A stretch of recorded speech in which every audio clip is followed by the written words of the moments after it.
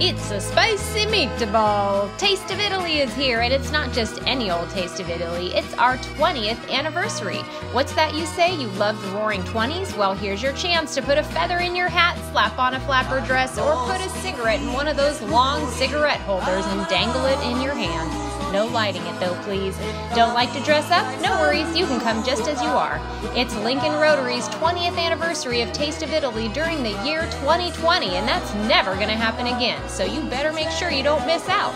Come enjoy some home cooked Italian food by your friends here at Lincoln Rotary. A fun, live, and silent auction, games, music, and oh, did I mention vino and a signature drink at the No Host Bar?